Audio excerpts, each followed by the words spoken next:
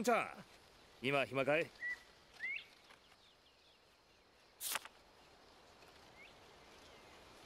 暇といえば暇だがさっきまでこき使われていたんだ。何か手伝えってのならお断りだぞ。さすがのあんちゃんもあの姉ちゃんには頭が上がらねえか。当たってるだけに言い返せん。まあそいつは置いといてだ。あんちゃんはこういった荒事に慣れてねえみてえだからな。ちゃんと獲物を手入れしてるか気になってな。手入れ？やっぱりか。ま仕方ねえな。こいつだこいつ。あんちゃんあれからまだ獲物を手入れしてねえだろ。時間のある時にちゃんと手入れしておかねえと。いざって時に命取りになるぜ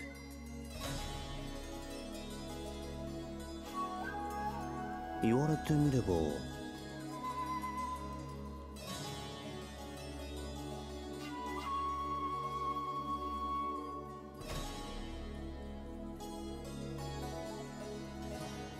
かなり手荒に扱っといてそのまま放置だったな。やっぱまずいか。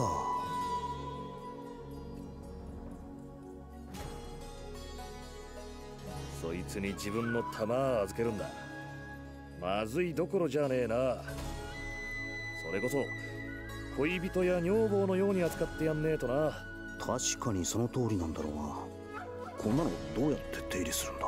普通に刃物の手入れとかなら見よう見まねでなんとかできそうな気もするが。これはちょっとな。どれ？ちょいと貸してみな。できるのか？こんな商売を続けてりゃ大抵のもんはなさすがにこいつは珍しいができないってわけじゃねえさ。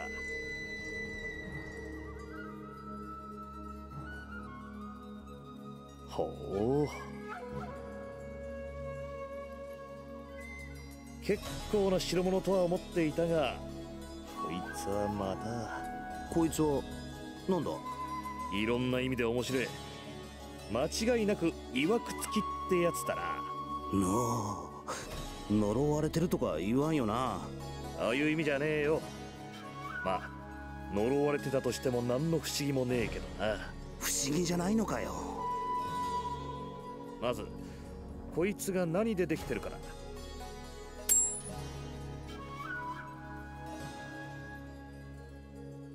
鋼じゃねえな。もっと硬い別の何かだが何かわからんあれだけ乱暴に扱ったってのに賭けも曲がりもしてやしねえとな。で次はこの仕掛けだ。仕掛け？何か仕掛けなんてあったのか？気づかなかったのか？こうして扇を目いっぱい広げてだ。そこからさらに広げようとすると見てな。結構えぐいぜ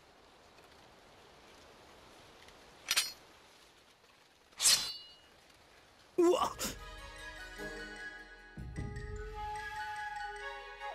仕込まれた隠し輪が飛び出すって寸法だ。こんな機能があったのか。しかしえぐいってほどのものか。いや確かに驚いたが歯が隠してあるくらいは普通だと思うがじゃあこの洗面に細かな溝が掘られてるのはわかるか？ああこれか。確かにあるなこれがどうかしたのか？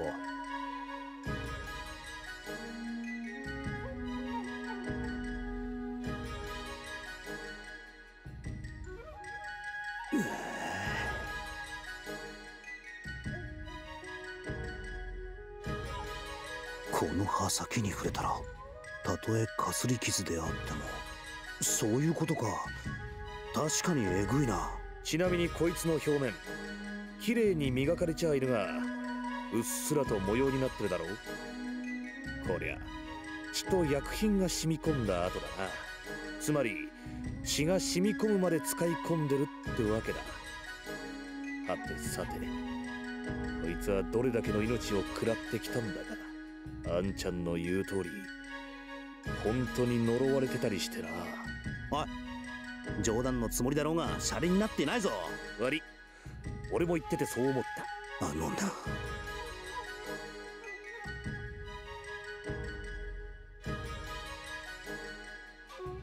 どこも歪みはねえし欠けてもいない。これなら問題はねえか。うん。しかしクオンがなんでこんな物騒なものあの姉ちゃんよっぽどあんちゃんを買っているか信頼してるらしいな。クオンが自分を？なんでだ？こいつを見りゃわかるさ。こんだけ心を込めて手入れしてやるんだ。よほど大切にしてきた思い入れのある品なんだろそいつを何とも思ってねえ奴に預けるとはとても思えねえがな。うん。よしこんなもんでいいか。俺よ。できたぜ。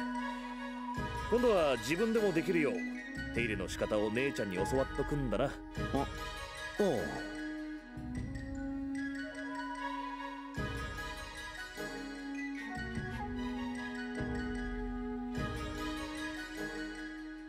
思いが込められたものか。なぜクオンはそんな大切なものを自分に渡した？なあクオンは何を考えている？お前に込められた思いとは何だ？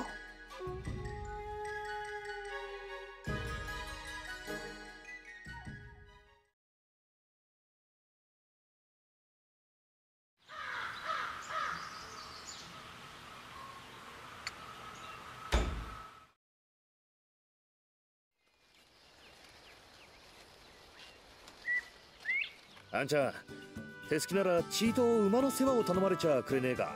馬の世話？別に構わんが何をすればいいんだ？そこにある餌をやってもらいてえのとちょっとした手入れだな。手入れ？ああこのたわしで皮をこすってやるんだ。こいつで皮をこすってやると気持ちいいらしくてな。馬どもが喜ぶ。馬は大切な運搬手段だかり面倒を見てやらねえといけねえし大切に扱えば向こうもそれに応えてくれるってもんだ。へえこんなものだね。まああんちゃんも馬に乗るようになればわかるってことよ。そういうことなら手伝うさ。ただ飯ぐらいってのも気が引けるしな。そう言ってくれるとありがてえ。馬はそこの馬車の先に繋いであるからあとは頼んだぜ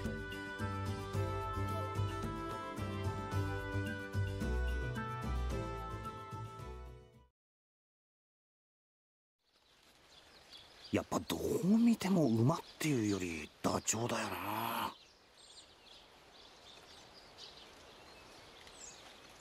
とすぐやるから。そう焦るな。わあ。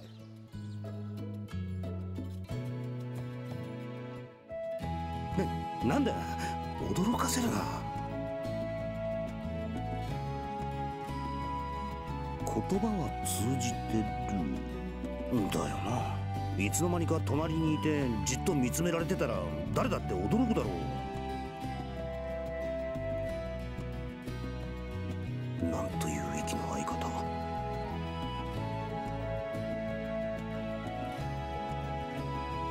ところでなんか用なのか？まあ眺めてたいなら好きにしてくれ。こいつらのすることを気にしてたらいつまでたっても馬の世話ができんしな。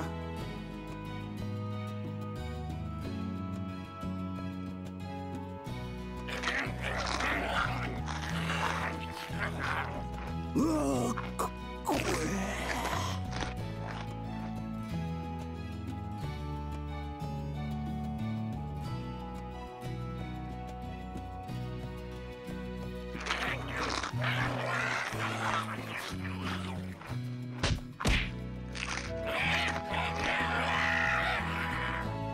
お前らまだたっぷりあるんだから喧嘩するな。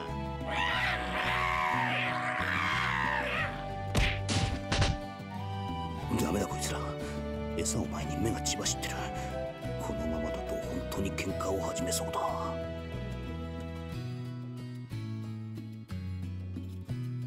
仕方がない。お前ら餌をやったことがあるか？まあいいこいつらに餌をやるのを手伝ってくれ。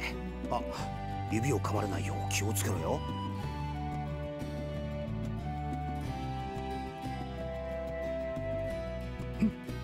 そんなやり方だと指を噛ま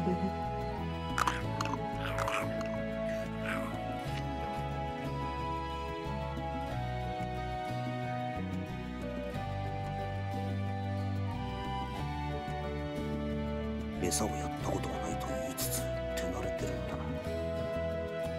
ちはとは危ないなちくしょうこっちの方は指ごと食らう勢いで一心不乱にがっついてるんだが。何なんだこの差は？まあ嫌われてはいないみたいだが妙に発するというか。あのバカ鳥といいここいらの動物は妙に興奮気味な奴らばかりだな。あそうだ。よかったらたわしで。こいつらの体をこすってやるのを手伝ってくれないか？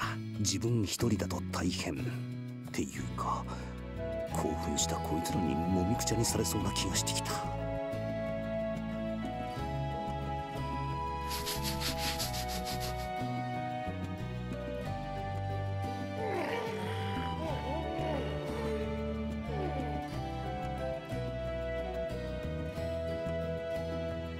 なるほど。んな感じでやればいいのか。あな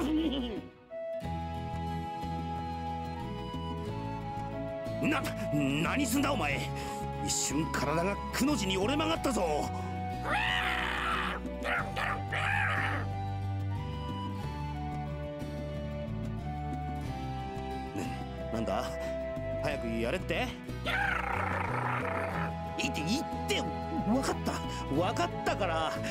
たわしをカゴに押し付けるな。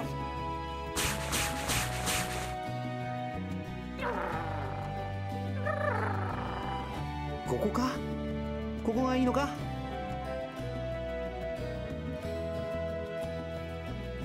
ドゥこら嬉しいのは分かったから落ち着け。蹴り殺す気か。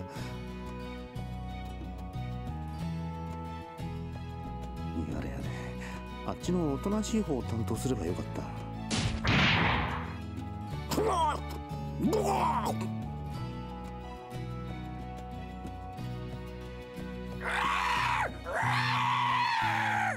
なお前ら。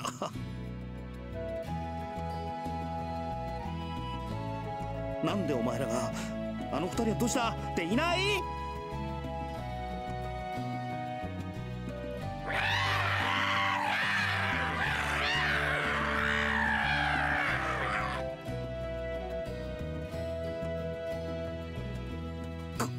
ここいつらはおとなしいんじゃなかったのか。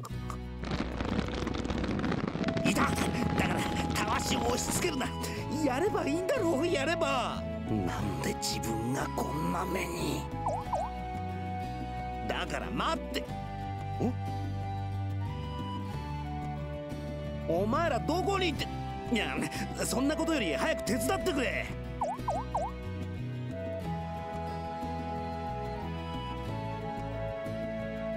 なんだ？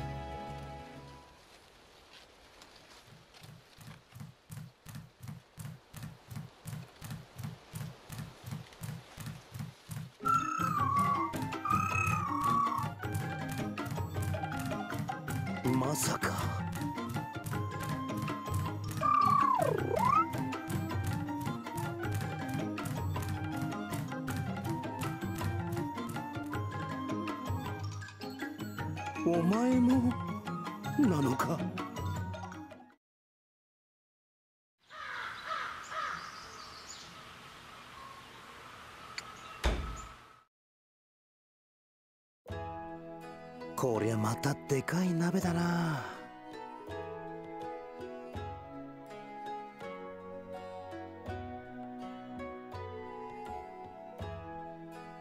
ハク殿こんなところで何を眺めているでおじゃるか？うんさすがにこれだけの人数になるとその支度も豪快だなと思ってな。そうでおじゃるな。マロもこんな大勢と行動を共にするのはこれが初めてでおじゃるよ。そういうマロロは何をしてるんだ？マロでおじゃるか？マロはそうでおじゃる。お手伝いの最中でおじゃった。手伝い？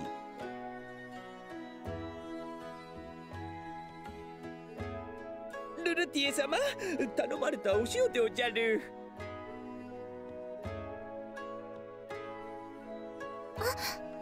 ありがとうございます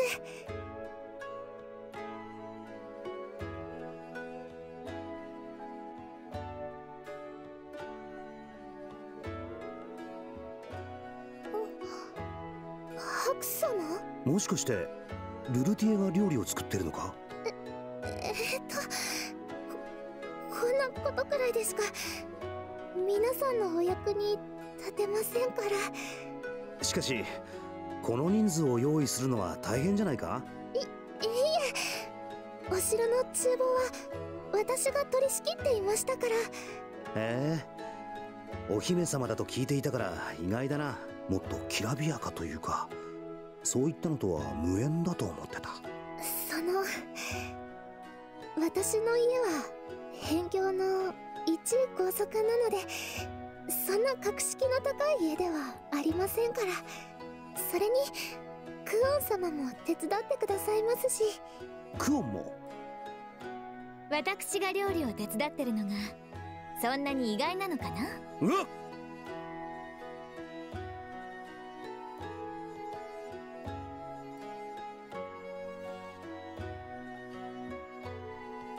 クと出会う前は一人旅をしてたんだから。一通りできるのは当たり前なんだけどな。いやいや別にクオンが料理ができないなんて。あ。ハクはそこで見てるといいかな。私の技を見せてあげるから。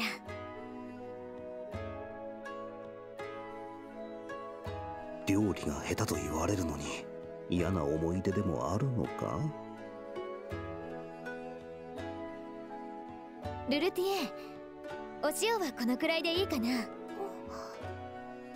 ちょっと濃い方がいいと思います。皆さん働き盛りですから。少し塩辛い方が好まれるかと。そっか。そう言われるとそうかも。うーん。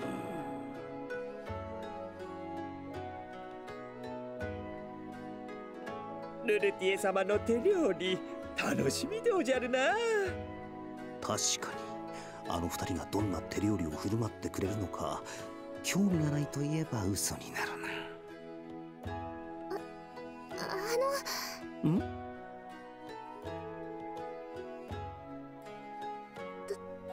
うぞ。お味見を。これは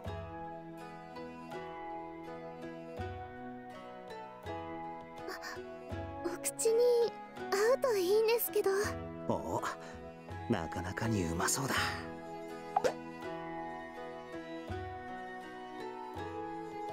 絶妙な塩加減だ。優しい口当たりでどこか懐かしい感じの味がするな。こりゃうまい。ルルティエって料理上手なんだな。あぶしつけだったか。姫さんって呼ばないとな。いえルルティエと呼んでください。じゃあ今度はこっちの味見ね。クオンもできたのか。そんじゃ遠慮なく。ああクオン何かな？これは一体なんだ？見ての通り煮物に決まってるかな？うん。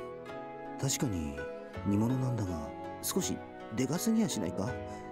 大きさはルルティエのと比べて5倍ほどあるさあ味見してみて。いいや味見ってこれって一食分の量があるだろう。こりゃ一口では食えんな。そもそも串が重量に耐えきれず折れそうだ。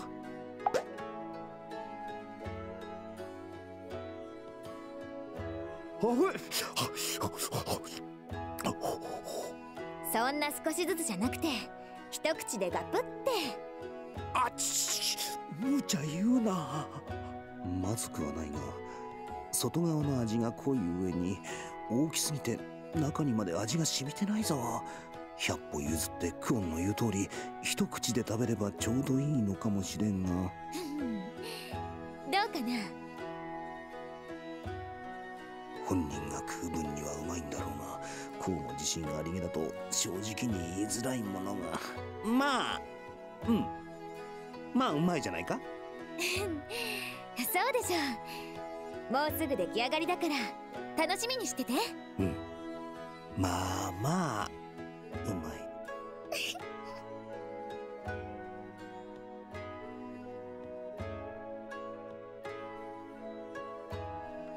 にしてもお姫様って割には家庭的な感じなんだな。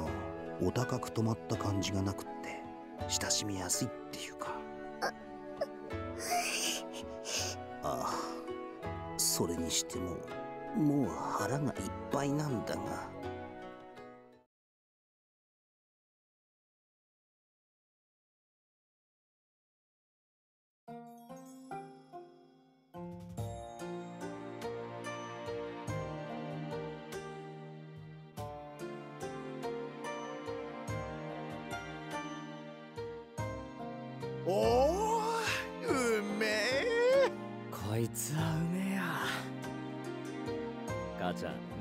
してっかな。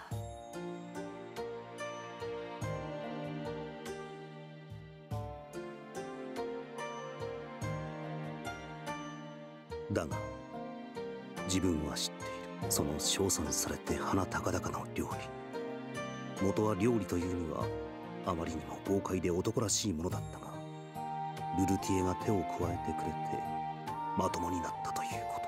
比率で言うとクオンが2のルルティエが8ぶっちゃけクオンのは手伝いとは名ばかりの邪魔にしかなっていなかったということ。よーしみんな。食いながらでいいから聞いてくれ。予定通り日が暮れる前にロエ地に着くことができた。今のところは順調だな。問題はこの先だ。分かっていると思うがここから先国境にかけてまで深い森が続く。街道とはいえ凸凹だったりぬかるんでたりもする。足を取られて荷車がはまったりしないよう注意しとけ。それとだ最近この先で賊の被害が頻発している。賊の規模からして俺たちが襲われることはまずねえだろうが油断は禁物だ。各々警戒を怠らず気を引き締めて取り掛かってくれ。それから騒ぐなとは言わねえし飲むなとも言わねえが羽目を外しすぎて明日以降に響かねえようにな。話は以上だ。道が荒れてるのか。こりゃ尻が痛くなりそうだな。ずっと歩き続けるよりかは100倍もマシだろうが何か座布団代わりになるようなものを用意しておこう。それにしても本当に盗賊なんかが出るんだな。まあみんな腕っぷしが強いしこの人数なら大丈夫っぽいから心配いらないか。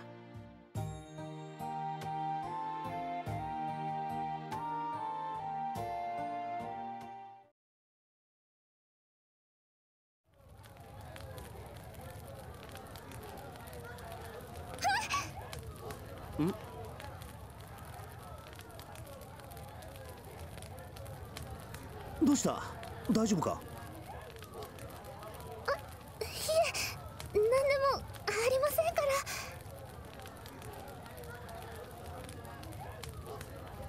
ら手伝おう大丈夫です。このくらい一人で。女の子がこんな重そうな袋を運ぶなんて大変だろう。実際つまずいたわけだしな。でも力仕事は男がやるもんだ。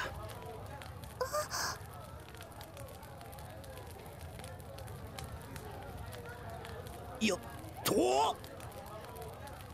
えお重っ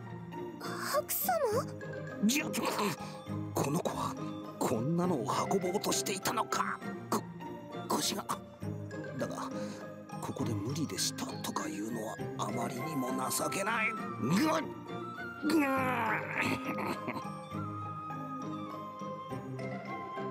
あのどうかしましたか？いや別に。ありがとうございます。なんだかご迷惑を。デートがいいから早くして。こ腰が腰が砕ける。ね。どどこまで行けばいい？あの私の天幕まで運んでいただければ。よよし。わかった。案内してくれ。や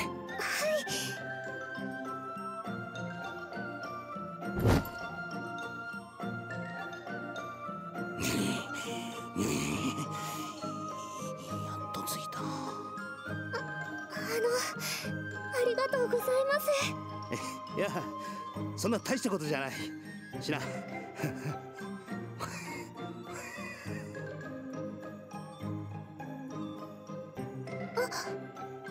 が。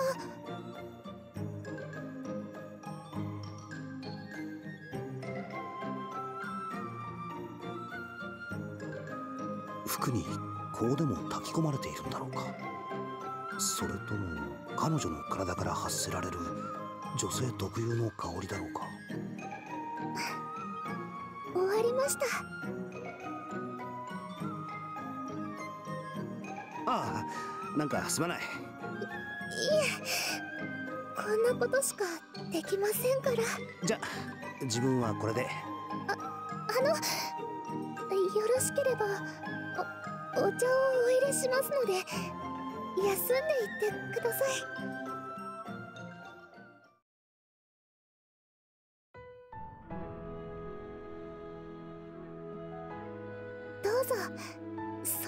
が。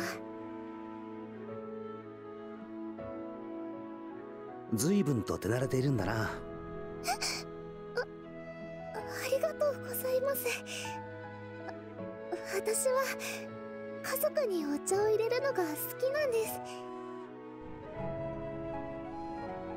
ここ九十里は王路であるお父様自らが率先して開墾することで国が大きくなりましたお父様はもちろんお姉様たちやお兄様たちも木を切り岩を押しのけて畑を耕すのが当たり前でしたでも私は体が弱くてだからせめてお茶や料理で家族みんなに喜んでもらいたくて。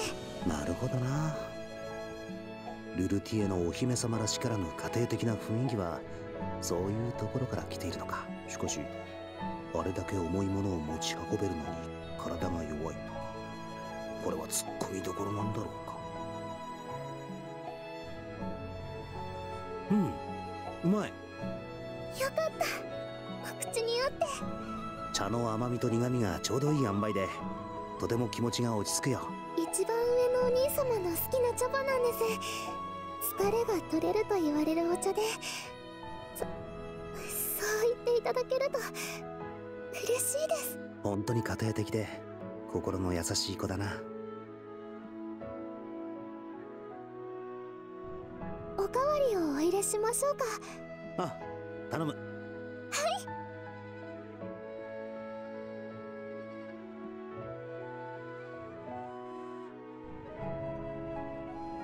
なあひょっとしてその棚は全て茶葉が入っているのか？はいそうです。確か茶ってそれなりに高かったよな。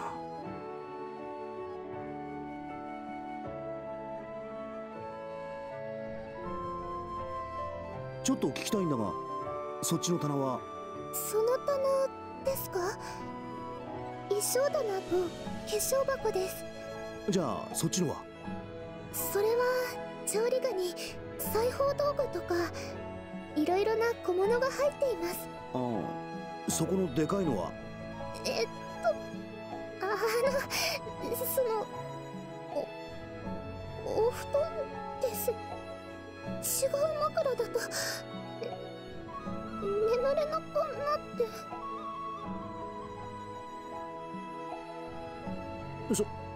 そうか。やっぱりお姫様なんだな。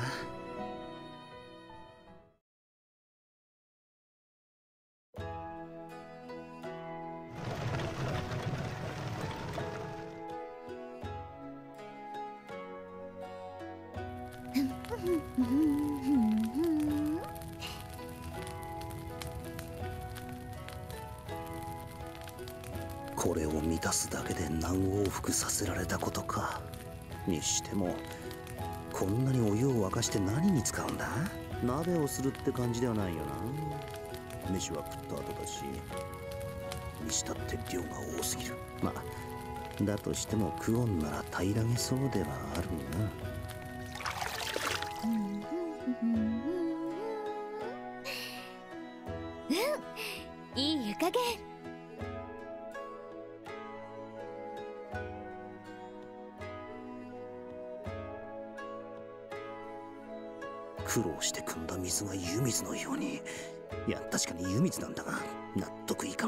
一応聞くが何をしてるんだ？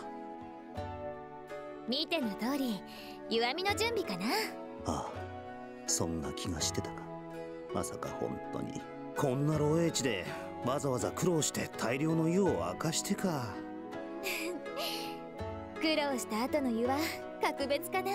苦労したのはこっちであって。ハクもうちょっと下がってて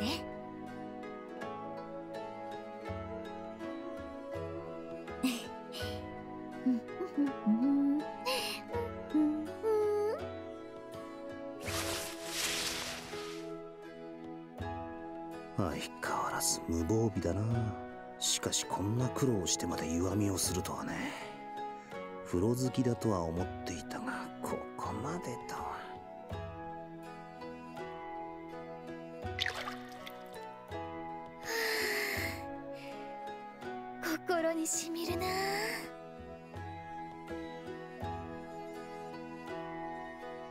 そんなに風呂が好きなのか？うん。とっても一日の終わりにこうして湯あみで汗を流すのなんて最高の気分。本当なら日に2度は入りたいくらいなんだけどあまり贅沢は言えないかな。それあれか？ツッコミ待ちか？ツッコミを入れろと言ってるのか？もしかして旅の途中いつもこうやって湯を用意していたのか？うん贅沢だけど自分で用意する分には何の問題もないからね。この水を汲んできたのはこっちなんだが。だからありがとう。今日は白に感謝。かな？相変わらず鋭いな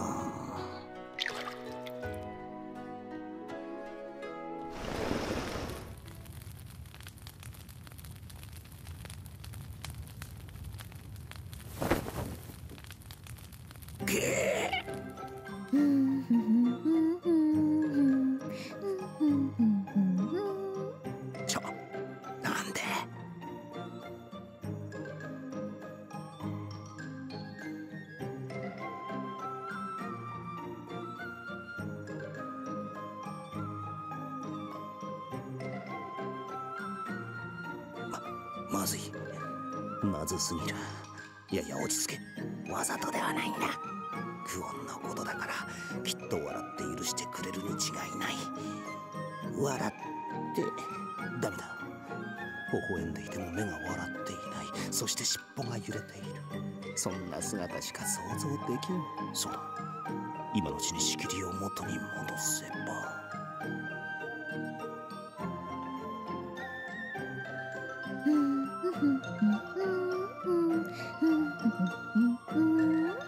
よし。なんとかバレずに。あとは端を結んでおけば。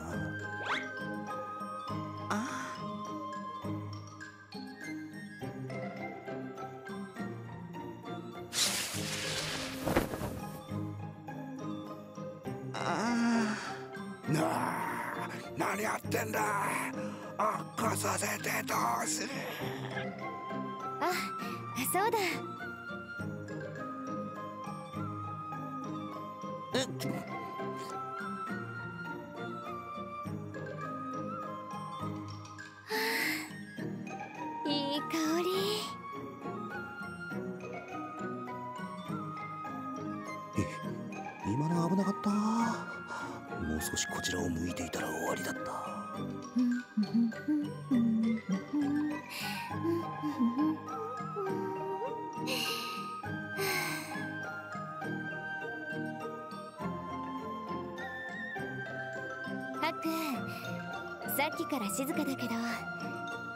した？えいや静かって言われてもな。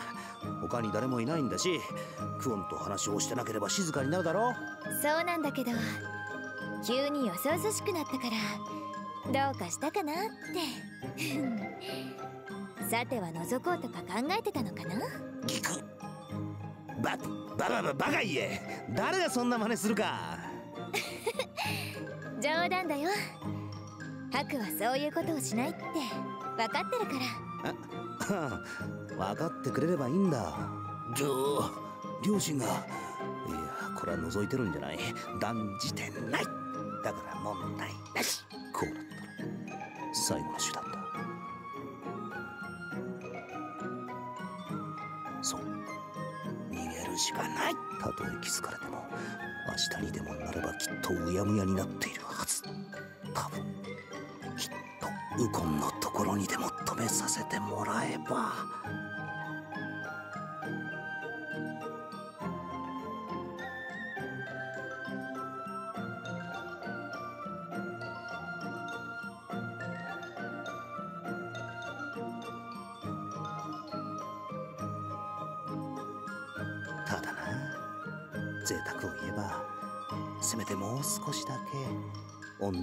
ふくよかさがあればなんていうか。ちょっと残念でしょ？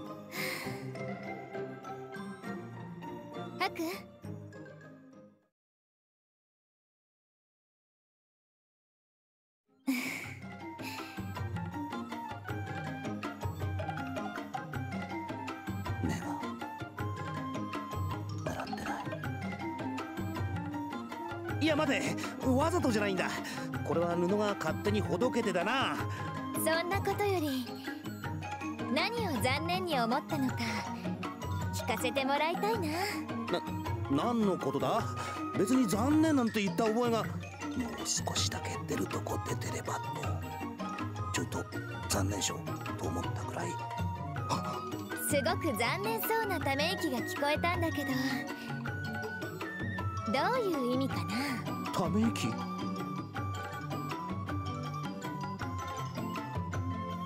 ままさか。ま待て。確かにそうも思ったが誤解。ああれ？ち違う。話を。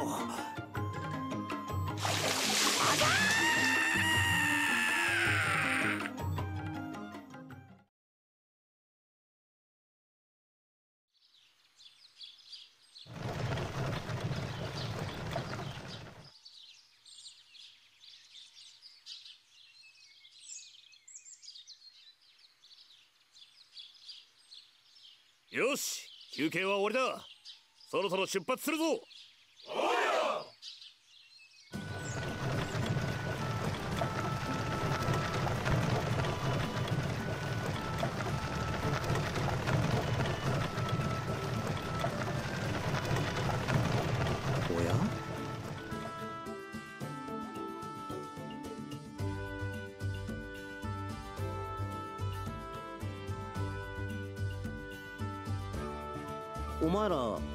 何か用でもあるのか？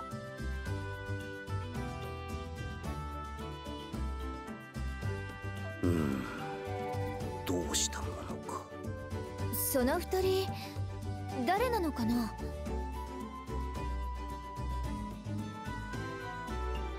こっちが聞きたい。聞いても何も話さないんだ。荷運びをしてるってわけでもないし。そうだろ？いかにも怪しいって思うよな。わかった。荷運びをしている男衆の子供ってとこかな。そんなざっくりでいいのかよ。まいいんじゃないかな。特に害があるってわけでもないし。ああそうそう。ルレティエを探しに戻ってきたんだった。ルレティなんだ。こっちを心配して戻ってきたわけじゃないのか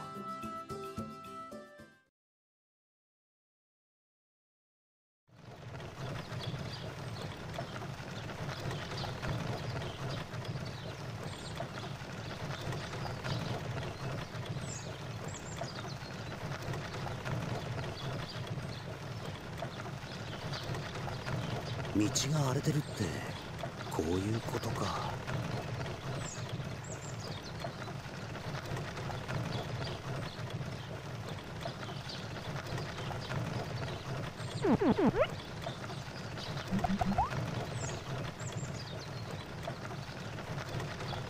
これはもういいか。何を聞いても答えが返ってこないし何考えてるかわからんし。もうあれこれ気にしても無駄な気がしてきた。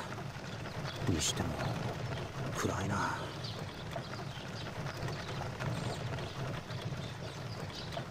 なんだか不気味でおじゃるの。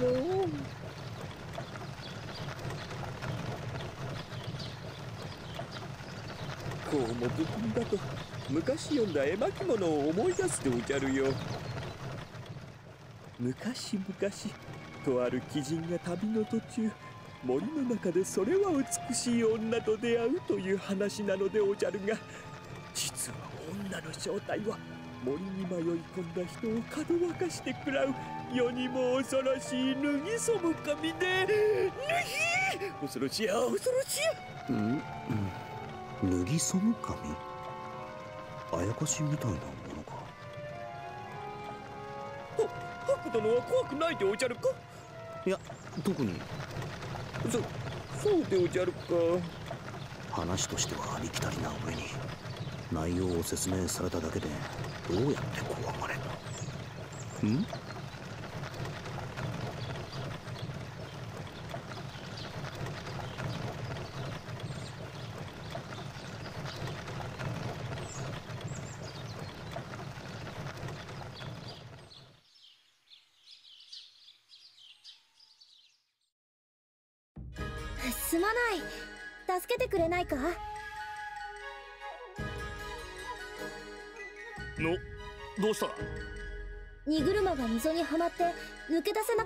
まったんだ。今仲間が助けを呼びに行っているんだが。それを待っていたら日が暮れてしまう。すまないが荷車を押し出すのを手伝ってもらえないか？ありゃまあそいつは災難だったな。よしてめえら。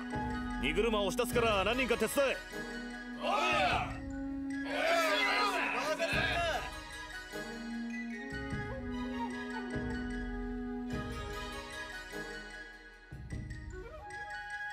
つまりマロロが言ってた脱ぎそむ神ってあんな感じか？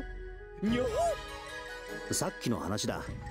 ああして言葉巧みに近づき油断したところをガブリとしてくるんだろ？でおじゃるよ。いや本気にするなよ。あんな感じかと聞いただけであれがそうだとは言ってない。第一可愛くはあるが絶世の美女って感じじゃないだろ？そう言われればそうでおじゃるなちょっと可愛いくらいで全然美女とは違うでおじゃる。いやいやほんと美女でなくてよかったでおじゃるよ。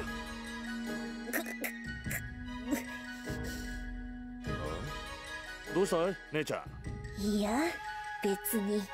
本当に助かる。厚かましくて申し訳ないがもう一つだけ頼んでもいいだろうか。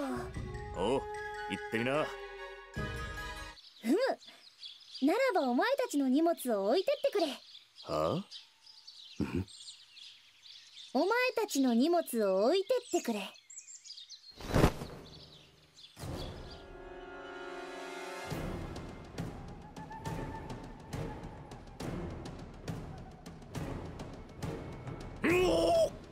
な。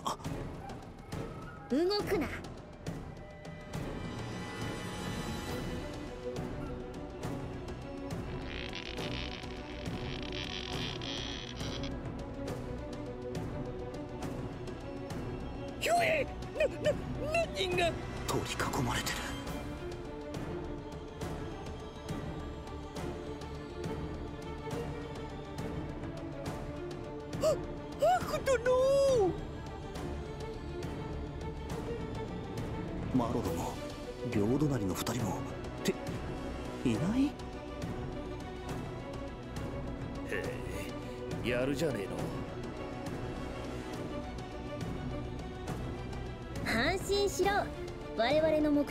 その次にだけだ。おとなしくしていれば手荒な真似はしないと約束する。それとも無駄な抵抗をしてその娘たちを危険にさらすか？ルルティエ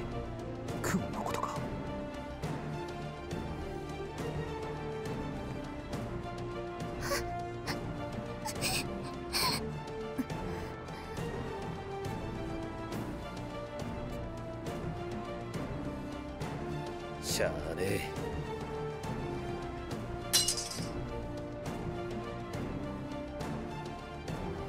おめえらもだ。いいか？余計な真似はするな。おとなしくしてりゃ何もしねえって言ってんだ。言われた通りにしてやろうや。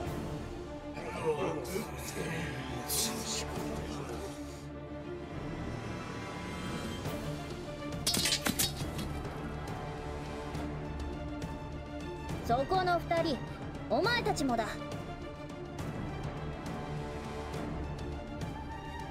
こりゃ仕方ないか。もうなるようにしかならない。言われた通りにしてしばらく様子を見るしかない。だろ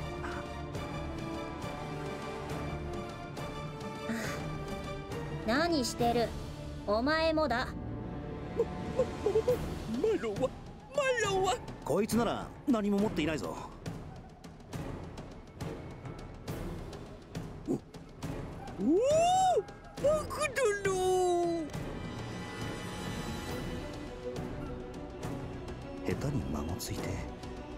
刺激させないためだったんだが。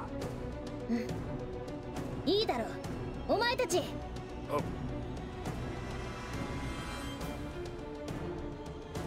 それ両手後ろに回せ。にしても賊に襲われないんじゃなかったのか。こうして見事なまでに襲われてるんだが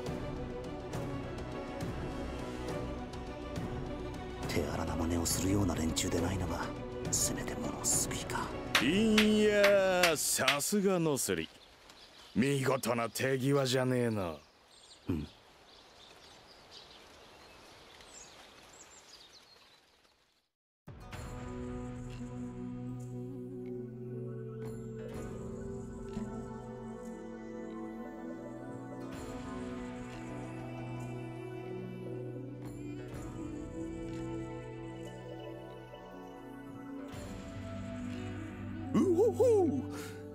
こりゃ上玉じゃねえの？程度だってこんな上玉はめったにいねえじゃんよ。決まりじゃ。んこの女は俺様の門に決定な。こいつ。抵抗しなければ積み荷を持っていく以外何もしないとか言っていたが所詮は盗人の口約束ってことか。おいてめえら！縛り上げた連中の身ぐるみ剥がすの忘れんなよ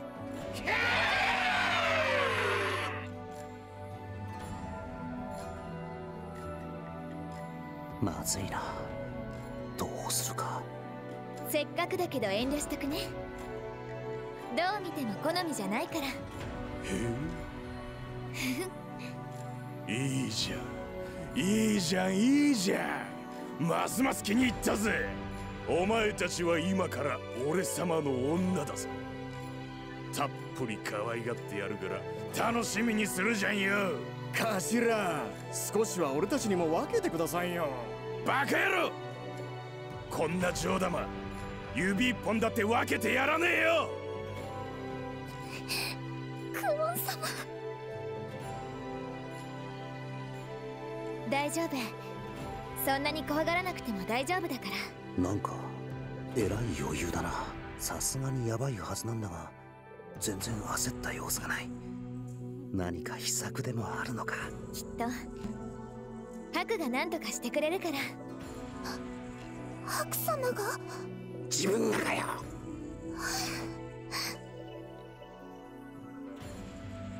ちょ無理。無理だから自分にどうしろと。そんな視線で見られると両親の呵責に苛まれるからやめて。モズヌ勝手な真似はするな。我らノスリ旅団と行動を共にするからには我らの流儀に従ってもらう我々の目的は積み荷だけ。それ以外は決して手を出さない。人に危害は加えない。そう言っておいたはずだ。いいじゃんよいいじゃんよ。な堅苦しいこと一個なしにしてやりたいようにやっちまおうぜ。全部俺様に任せとけってよ。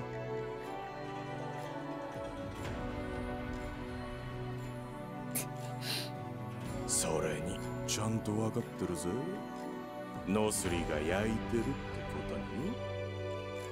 とに。いい加減素直になって俺様の女になっちゃいなよ。せっかくこんないいもん持ってんだからよ。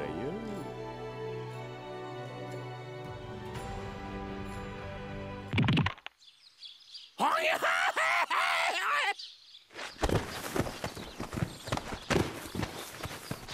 今あいつの指かつてない方向に折れ曲がらなかったか？う んおいたはダメよ坊や。どうだ王儀今のはなかなかいい女っぷりじゃなかったか？ええさすがは姉上。その魅力に思わずめまいを起こすところでした界に入っていたはずなのに気づかなかった。そうであろう。これでまた一歩いい女に近づいたな。なな何しやがる無粋だな。女との戯れを笑ってさらりと受け流すのがいい男というものだぞ。超痛えじゃんよ。こんなの流せるか？やれやれ。だからお前はいい男になれないんだ。かつて異国にいい男と歌われたオーロが存在した。彼は嫉妬に狂った奥方から腕を噛まれようが箸を突き刺されようが微笑んでされるがまま受け入れたらしいぞ。それがいい男というものでありいい男の義務だ。いやその理屈はなんかおかしい。それに引き換えお前はダメ男だな。だと。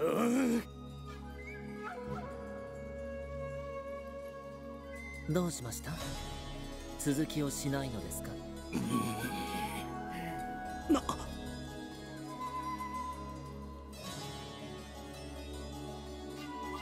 なんだこいつ全然気づかなかったぞ。じゃじゃじゃ冗談じゃんや。な何向きなってんだ奥義構わんぞ。こんな場合男のやんちゃを許してやるのがいい女というものだ。姉上がそう言うなら仕方ないですね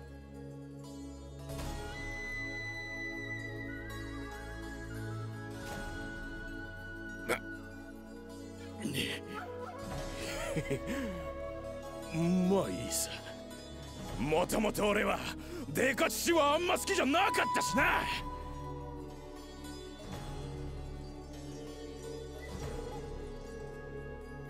ババアにだったら塩塩にしぼんで垂れちまうからな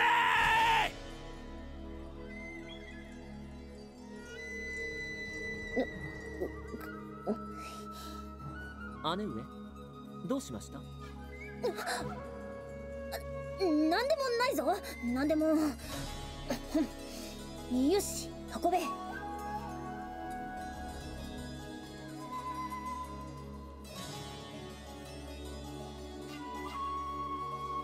騒がせたな。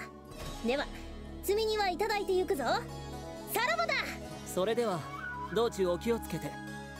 いずれまた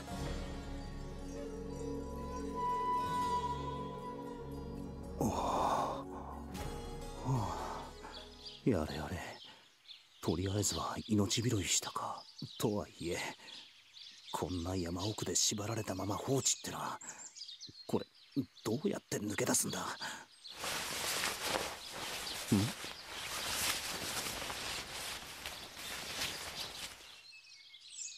ん？よいしょっと。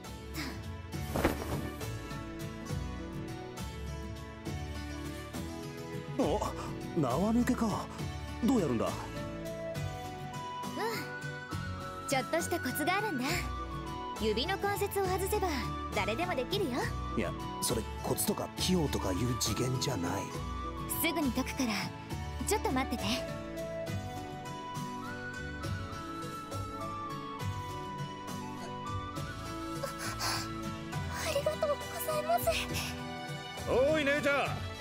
こっちも頼む。わあれそっちは解く必要なんてないんじゃないかな。何のことだい？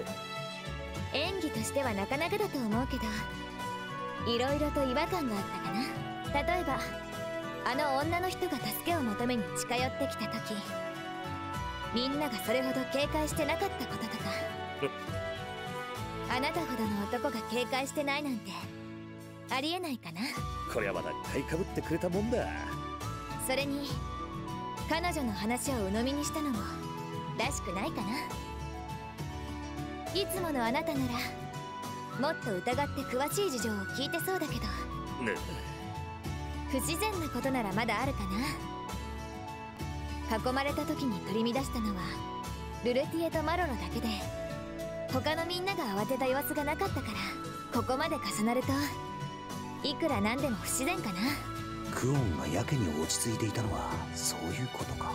一つ二つの違和感ならともかくそれがいくつも重なれば必然。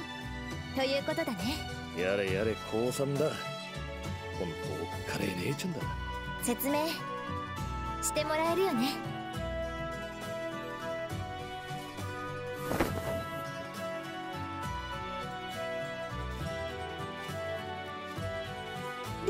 どういうことでおじゃるかなあちょっと待ってくれ。守備はどうだい？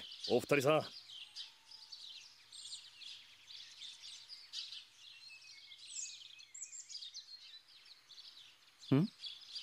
こいつらいつの間に？よしこれで準備は整ったか。で種明かしなんだが。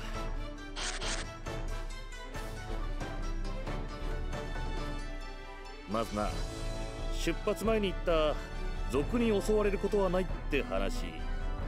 ありゃ嘘だ。おい。実は最近ここら一帯であいつら賊による被害が頻発しててな。この九十里でも何度か捕らえようと動いたんだがうまくいかなかったらしい。どうやら連中根城を転々としているらしくてな。なかなか尻尾がつかめねえってことだ。そうこうしているうちに被害は増える一方族どもの規模も大きくなってきてなこのままではまずいってことで奴らを討伐するのに協力してほしいと頼まれたわけさ。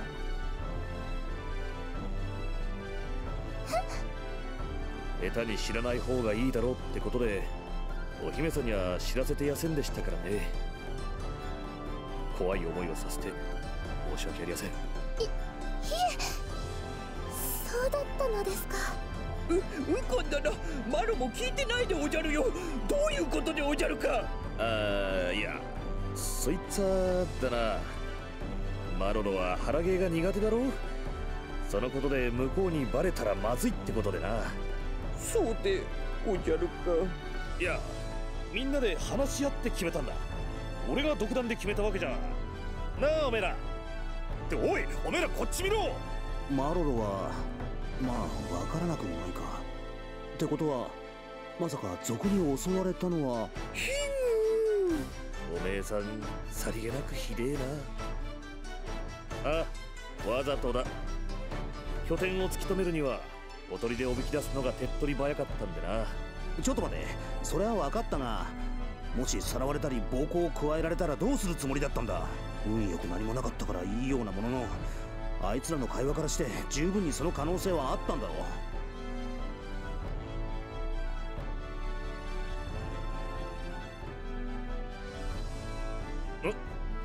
ああそれはだな。そういうこと。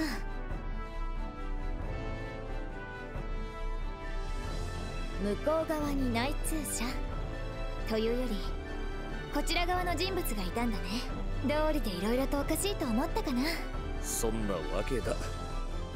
これから待機していた討伐衆と合流の後奴らの拠点に襲撃をかける。他にも質問や言いたいことが山ほどあるだろうが後にしてくれ。今は少しの時間も惜しいんだな。いやいやいやちょっと待て。何をさらりととんでもないこと言ってるんだ。荷物の護衛は引き受けたが襲撃を仕掛けるとかはないだろう。さすがに勘弁だぞ。おい。ああ分かってるってこっちもそこまで世話になるつもりはねえさ。その代わりと言っちゃなんだがあんちゃんたちには頼みてえことがあるんだ。